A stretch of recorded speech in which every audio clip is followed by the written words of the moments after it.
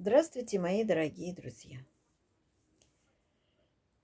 Хоть сейчас еще и утро, но пока я себя чувствую неплохо, я решила с вами поговорить, чтобы на завтра у вас было видео.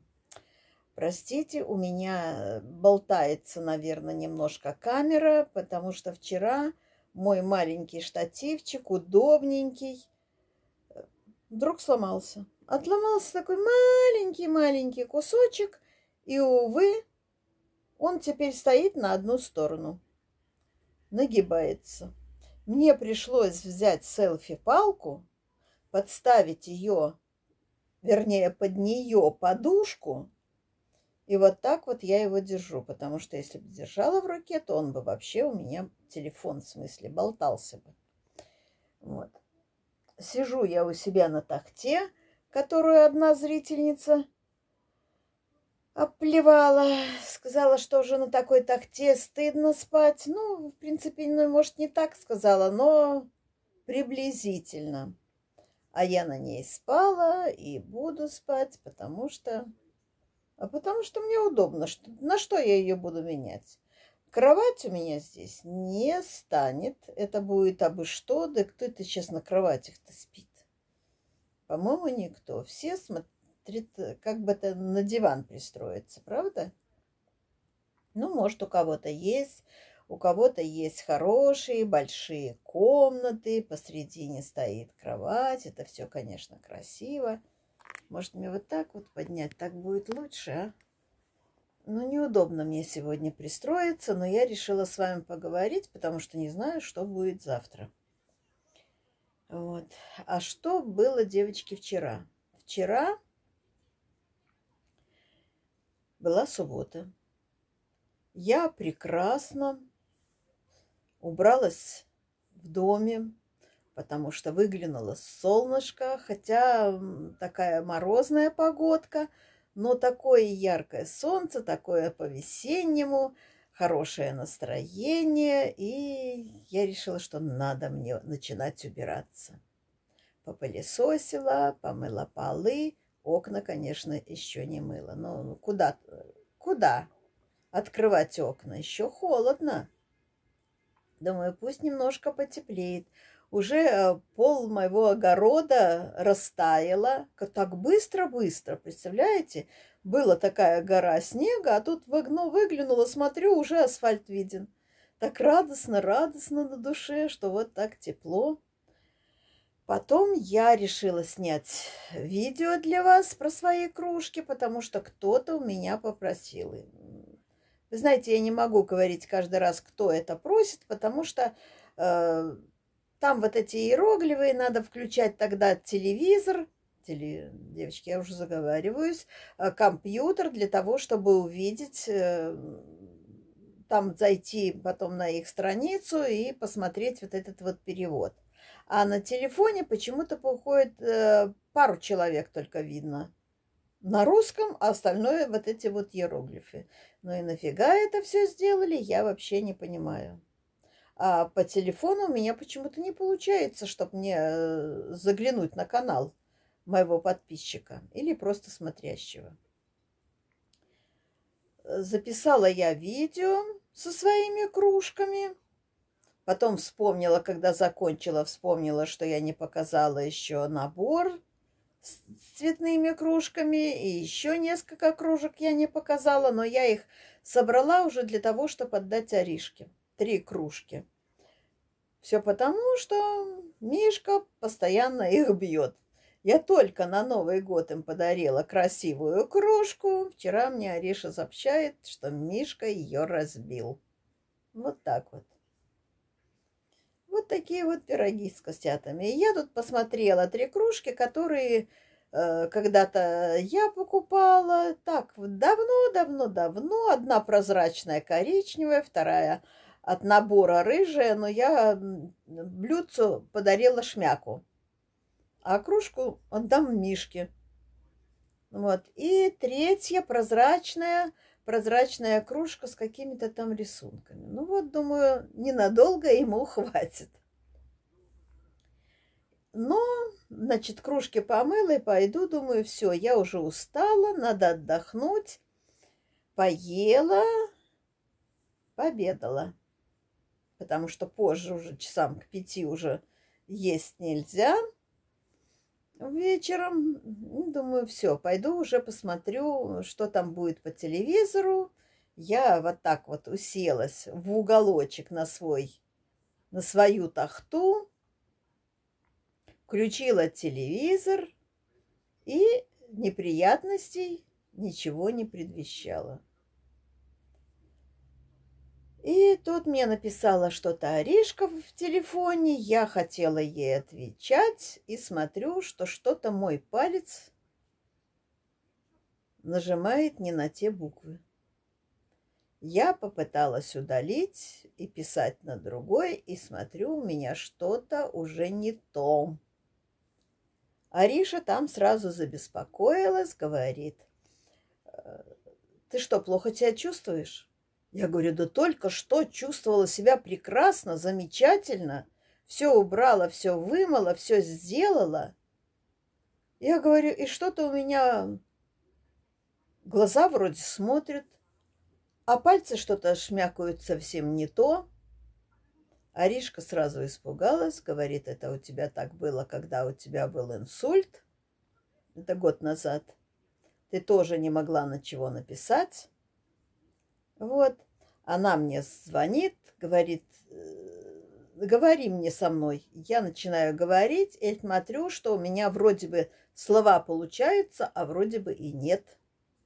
Ариха говорит, все, ложись, я сейчас вызываю скорую и сейчас приеду. Ну, а я и не вставала, я ж лежала, ну, не лежала, сидела, вот так вот сидела на, в уголочке на тахте. Лежу, вроде бы ничего, но что-то уже как-то не, не слава богу, язык не ворочается. Могу говорить, но говорю плохо. Ариха прилетела очень быстро, взяла такси, тем более она теперь здесь рядышком живет. Прилетела с Мишкой, вызвала по дороге скорую помощь. Они тоже, на удивление, приехали моментально, моментально приехали. Спрашивают у меня, как и что. Я смотрю, говорю, не знаю, что-то у меня такое вот. Э, я говорю, наверное, давление подскочило. Мерят, измеряют давление. У меня давление 160. Девочки, при моем-то 110. И чего оно так поднялось? Мне так было нормально, я особенно не перетрудилась, чтоб я там упиралась. Попылесосила, подтерла. Что я еще делала? Что я вчера еще делала?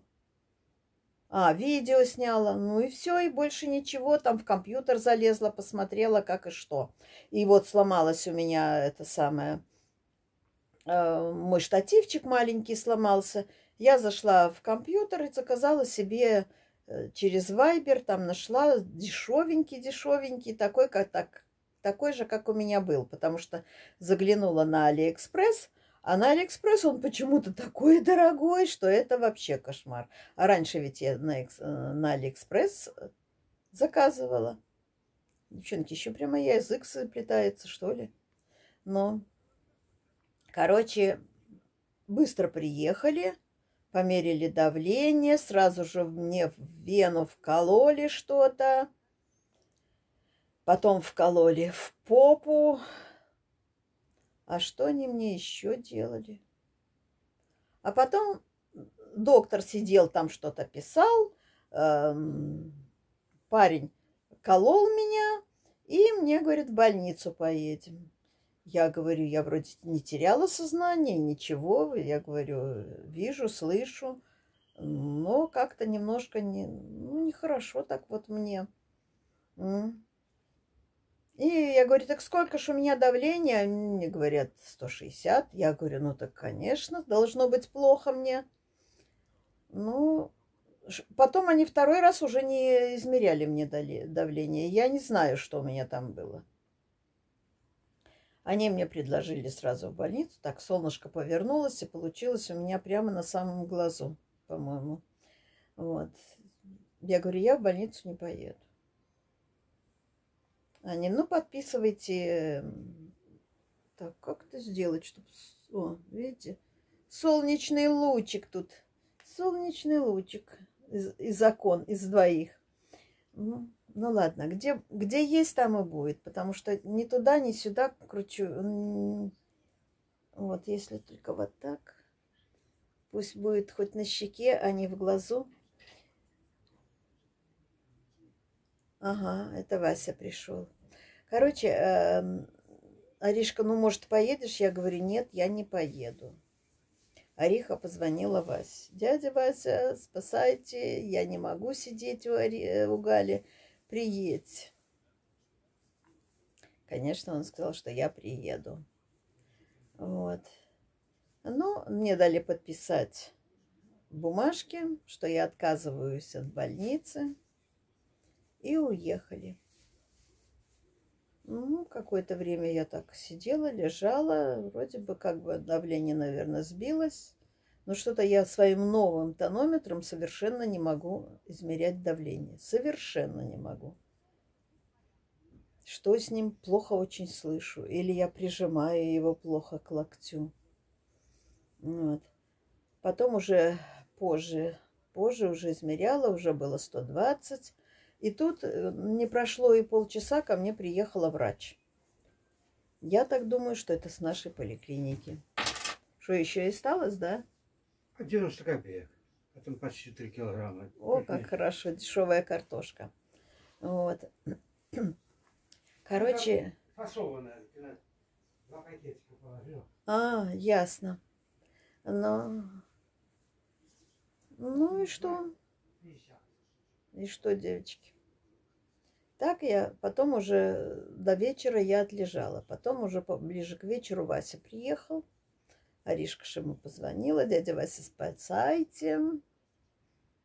Так и так. Гале плохо, она одна, а я не могу здесь сидеть целый день, потому что там это самое сейчас э, Максюшку привезут и Мишка. Да мне, конечно, радость была, что у меня тут Эришка и Мишка был. Говорит, сейчас Костя придет, это самое голодный, надо кормить. Ну, у девочки семья, ей надо, конечно, заботиться. Но она со мной была. Она э, в одну секунду ко мне прилетела. Вот. Было, было пока это были врачи, потом пока они еще ушли, пока пришла пришла, прилетела тоже, наверное, на маши, машину ей дали дежурная врач. Не измеряла ничего, ничего не слушала, просто спросила, как и что, и сказала, теперь бейте, пейте две таблетки. Я сказала, хорошо, но я так и не поняла, как две. Мне и так до этого э, моя доктор участковая сказала, чтобы я пила две таблетки уже от давления. Так э, мне что, сказали пить две вечером и две дни и утром? Надо будет что-то это дело узнать. Но, короче, вечером я выпила две. Не знаю. Не знаю, правильно сделала, нет. Слушайте, солнышко вот прямо бежит за моим лицом. Прямо бежит за моим лицом и вот и не хочет. Я его двигаю, а не хочет оно убегать на, на лице. Хоть выше, хоть ниже, хоть как угодно. Вот такая я перед вами сегодня пятнистая.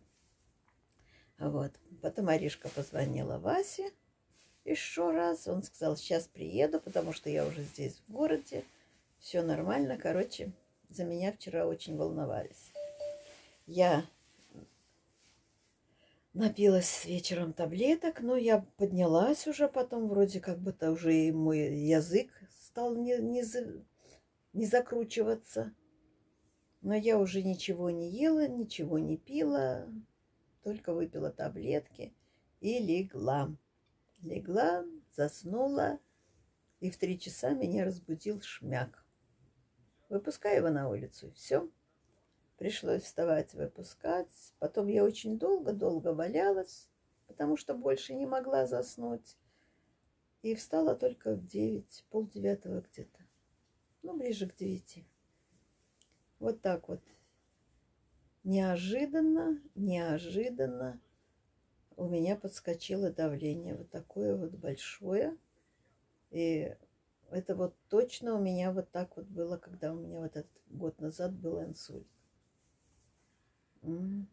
Правда, врачи не настаивали, не настаивали, чтобы я ехала в больницу, ничего. Он только спросил, поедете в больницу? Я говорю, нет, не поеду. Уколы сделали, на этом все. Вот так вот. Правда, врач, когда пришла с поликлиники, говорит, а чего вы не поехали? Я говорю, я в прошлый раз поехала, один день там пробыла и вернулась домой. Я говорю, скорая помощь оказала мне лечение, мне стало лучше, зачем мне ехать в больницу? Для чего? Что там будет? Мне дадут те же таблетки, которые я принимаю дома, и, ну, капельницы, естественно, поставили бы капельницы. Вот. В принципе, я могу уже походить на капельнице. Вот сейчас вот, вот этот самый лед растает, потому что уже хорошая Вася пришел, ходил за картошкой. И это самое, говорит, жарко на улице очень. Ну, оно и видно. Вот я села так неудобно, что солнышко у меня в глаза. Говорит, жарко. А я утром открывала форточку. У меня было... Ветер был сильный-сильный. Сильный-сильный был ветер. Жарко не было совершенно. Сейчас уже дорога еще раскисла. Да? Вот, а тогда, когда я смотрела, было там только лед такой вот блестящий по, посреди Раскис улицы. И Шмяка пришел, лежи, лежал, лежал утром уже со, со мной. Вот такие вот пироги мои э, дорогие, чтобы вы не думали, что я куда-то пропала. Как будет дальше, не знаю. Но сегодня с утра встала, вроде бы как бы ничего. Вроде ничего, но вроде и не очень. Но макияж сделала небольшой, чтобы не пугать народ. Вот. И села в уголочек. Вася там сидит рядышком. Вот сходил за картошкой. Сейчас, наверное, надо что-то пойти на обед сделать. Может, картошки пожарить. Же есть больше. А ты? Я не хочу. Ты не хочешь? Я его накормила блинами с творогом. Потому что у меня были блины. Я когда вот э, готовлю блины, я всегда делаю так, чтобы у меня в этом э, в морозилке э, были блинчики. Я готовлю побольше, чтобы они на всякий случай, на всякий случай были. Вот такой всякий случай произошел, что не надо было ничего печь, ничего готовить. Просто можно было достать, положить.